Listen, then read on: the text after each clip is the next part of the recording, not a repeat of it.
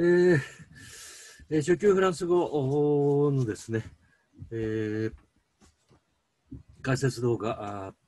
旧約聖書、フランス語版の旧約聖書第2章、第3節の解説を忘れて、えーおりました。えーっと、追加アップをします。えーっと、Du béni, le septième jour, et le consacra, car il l'avait alors arrêté toute l'œuvre que lui-même avait créée par son action. Telle est la naissance du ciel et de la terre lors de leur, leur création. というわけですね。えーここで次、えーようやくエデンの園の前が終わって、で、ここまでとですね、エデンの園は実は全然別の神話ですけども、つないであると。えーこれはですね、まあ、日本の神話だけじゃなくて、まあ、あ聖書だけじゃなくて、これはもう別々のルートの、ルーツのものをこうつなぐっていうのはあるんですね。えーはい。アダムとイブがどうしても、もう男も女も作ってるんですから、神が作ったんですから、えーっと、アダムの体からですね、えーフランス語ってエブでしたっけ？ができ作るってこと自体はおかしいわけですけど、まあ、えーはい。まあ、それはまた次、次にまたそういうことはやりましょう。えっ、と、第2章、第第1章、第3節、最後ですね、第1章。えー、デュー、デュー、ベニ、祝福する、これもフィニール型の第二軍規則動詞の、えー直接現在と同じ形ですけど、これ直接単純加工です。神は祝福した。ルセテム10、第な第7日目をと。えー7という数字はこれ、7もしくは9っていうのは古代のシャーマニズムにとっては非常に重要で、これはもう、えーとバうん古代のメソポタミアでも冥界下りの時に、えー女神様、イナンナという女神様が7つのこの体に身につけていたものをこう7つ、えーこう縫い落としていくって体から離していってようやく、えー天上世界から地下の冥界へ行くって7つもしくは9っていうような一つの段階を示す、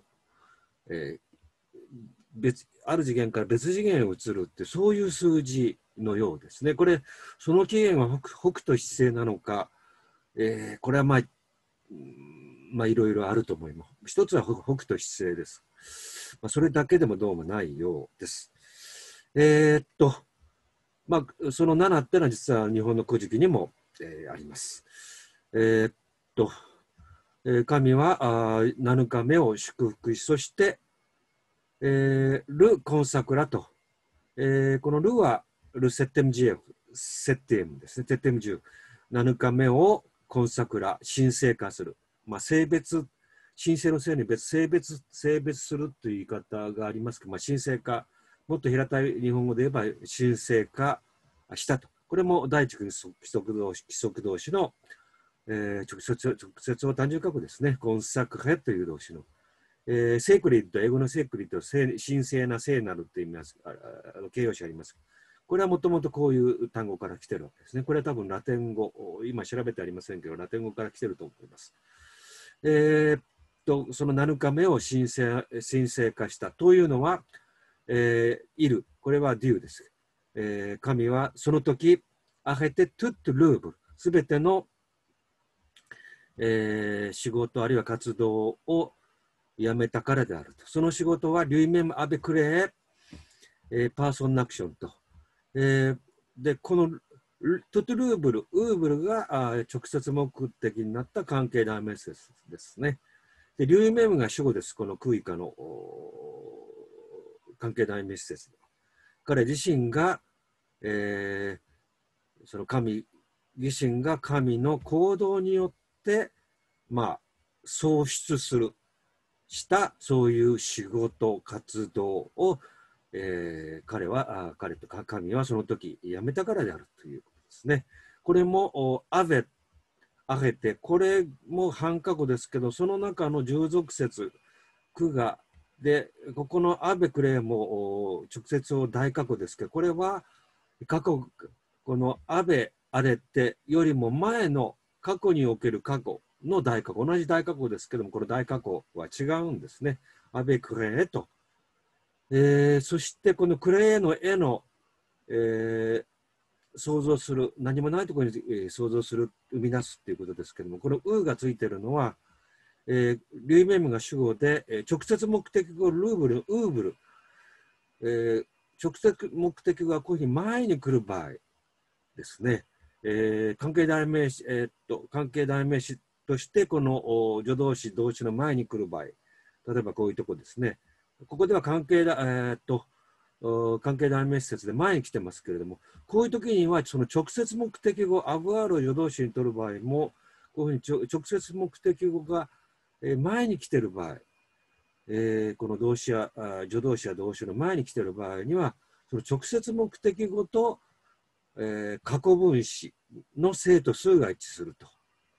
これがルーブルがこのクレーの後に来てれば、これはウーはいりません。え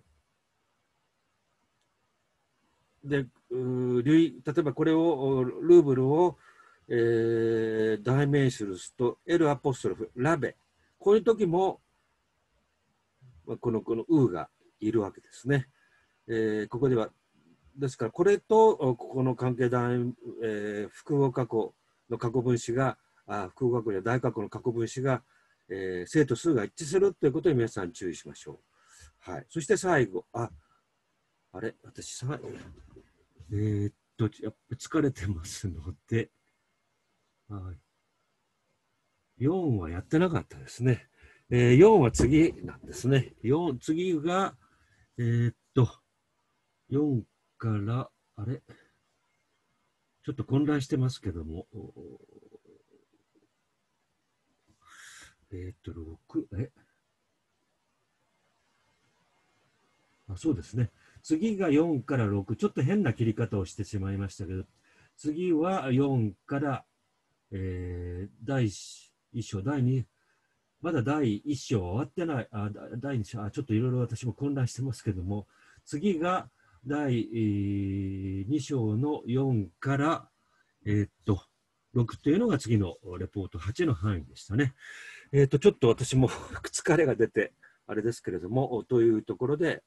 えー、この補足の解説動画は終わります。まあ、ようやく日本でコロナができ、えー、使用されるのは春以降というと思います。えー、っと、まあ、頑張りましょう。来年の後半は多分対面授業ができますけども、前半、春学期はちょっと微妙ですね。はい、皆さん、多分私は来年も、あの、これまだ恒例ですと持ち持ちませんので、まあ、皆さん、頑張ってください。はい、以上です。